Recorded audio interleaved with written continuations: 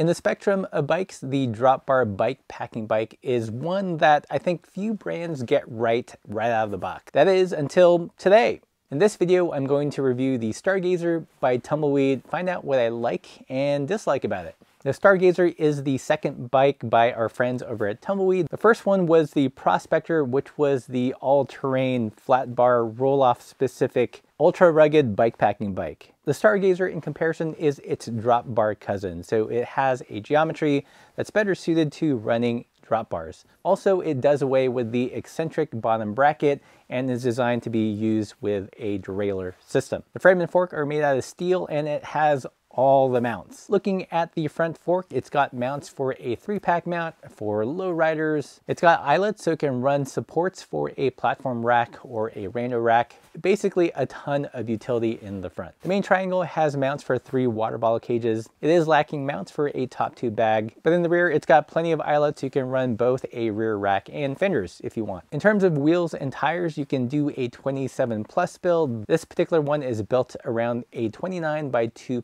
inch tire. Hubs are the super reliable DT Swiss 350s. The rims on this one are WTB, although on the web listing it does say race face, so I think it depends on what's available. The tires are the Maxxis Ikon in 29 by 2.2, and it's got a pretty good all-rounder tread. Definitely biased towards a little bit more dirt, but rolls reasonably well on those pavement sections. Brake mounts are flat mount and the calipers are some cable actuated ones by Tektro. Moving on to the controls, this is where things get interesting. You've got some SRAM Rival 22 that have been modded in some pretty interesting ways. I'll get to that a little bit later. The handlebar is by PNW, is their Coast handlebar, and I believe it's either 48 or 52. It's got a lot of wingspan on this one. The cockpit is finished off by some handlebar tape by Camp and Go Slow. Love this pattern. The cranks are by Raceface and it has a 32 tooth chainring, which I think is totally reasonable for bike packing. Moving to the rear, it's got a generously arranged 10 to 52 tooth SRAM Eagle cassette with, with a SRAM GX Eagle rear derailleur. The eagle-eyed among you will note that this shouldn't work with drop bars out of the box, but it works in this instance because the folks at Tumbleweed modded the front rival Brifter with the ratio internals so you get 12 speeds and the correct cable pull to work with the Eagle rear derailleur. So out of the box, you've got mullet gearing. But not only that, the left shifter has also been modded so it is actuating the PNW Rainier dropper post. And what I love about this is that typically these are hacks that you would have to do aftermarket, costing you time and money. But if you order the bike from Tumbleweed, it's done for you. Dropper post ready with mullet gearing already set up. So by now you guys know my dimensions. I'm about 5'9", with a rather short leg length at 29 inches. I decided to test the size medium, figuring because it does have a sloping top tube, it should work out okay. And it did for me. The, the total weight on our scales with pedals and cages came out to a respectable 28 pounds. Not, not the lightest bike out there in the spectrum of bikes, but within this class of bike, the drop bar mountain bike, it's, it's about par, if not a little bit better. I've definitely tested some which are closer to 30 pounds, so it's nice to see that this is in that 28 pound range. So enough of the boring stuff, how does this bike actually ride? You guys know me, I tend to ride smaller frames, usually built around the 650B by 48 to 50 millimeter standard. So, so hopping on this bike, it felt really tall, almost like throwing a leg over a horse. Part of this is the larger wheel and tire size, but also the higher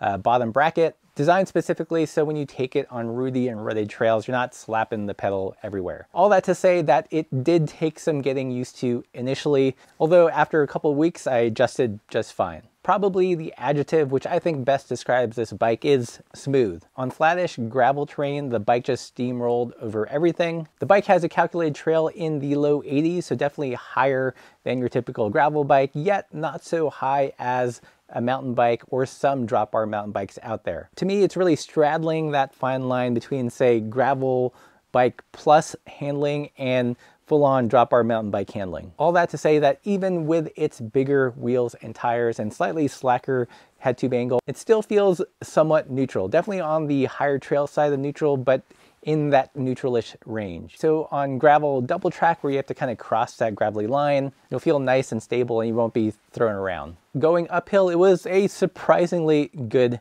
climber. It didn't have the jumpiness of, let's say, a shorter chainstay bike. So when you climbed, there was this kind of smooth upward progression. But at the same time, because it has that kind of neutralish high trail uh, handling, it wasn't super drunken goaty. By that, I mean, it didn't exhibit lots of wheel flop. There definitely was like the tiniest bit of it, but it wasn't as floppy as say the Otso Fenrir, which I just reviewed a couple weeks ago. So it still handled fairly neutral. I know in talking with Daniel, he actually tried out different rake forks and he landed on this one because he liked the riding characteristics. And to me, if you're coming from more of the gravel bike world, then it won't feel too unfamiliar. When descending, again, this bike was super stable. A higher trail kept the wheel going straight without getting deflected by baby heads. The overall wheelbase and the longer chainstay length also added to the sense of stability. So if I were to sum up the handling, it would be smooth and stable. So what are the likes and the dislikes? The first big like is that this is finally a drop bar bike packing bike that is specced out with, without you having to add something else later down the road. By that, I mean it's already got mullet gearing. You don't have to do any hackery or add other doodads to have it accommodate lower gearing. Same thing with the dropper post or making the dropper post work with a drop bar shifter. They've done it for you. Another big like is the handling. It's super smooth and super stable. Big plus if that's what you're looking for. One thing I really appreciated was that it didn't have a overly wheel floppy front end. So if you want a more neutral handling bike, something that handles a little bit more like a gravel plus plus bike and less like a full-on, you know, modern progressive mountain bike, then this bike is for you. And of course, I love the utility. It's got all the mounts, lowrider, three pack mounts, rear rack mounts, all the utility you could ask for. In, in terms of dislikes, there's actually very few. I think Daniel nailed the handling, he, he nailed the gearing, all the kind of things I would want in a drop bar bike packing bike. If there was one thing I wasn't a fan of exactly, it was the Tektro brakes. I think if this were my bike, the one upgrade I would do is swap them out to some Paul Klampers. And then it would just be chef's kiss. So who is this bike for? I think it's an interesting bike because to me it really straddles that edge of uh, what a gravel bike handles like and true drop bar mountain bike handling. So I think if you're going from the gravel bike world but want something more capable, something that you can take on on chunkier trails and roads and double track and carry a bunch of gear, but you don't want a super floppy front end, then this is your bike packing bike. The Otso Fenrir that I reviewed, definitely capable, but handling wise, it, it was definitely both feet in the mountain bike category. This one, not so floopy floppy on the front, which is nice. So I would say for off-road touring on gravel roads, occasional trail, this would be an awesome bike. But because of its high neutral handling, I'd also consider it for those really chonky gravel events where, where, a gravel bike would be a little bit underbiked and this would get you a little bit closer to that mountain biking world without the handling getting all messed up. Hopefully that makes sense. I'm, I'm really getting granular here with the handling, but I think that's what makes this bike really interesting. So, so there you go, Tumbleweed Stargazer. The drop bar mountain bike for people who don't want it to feel like too mountain bikey. So that's what I think. Let me know what you guys think of this bike. If you guys have any questions, leave those in the comments below.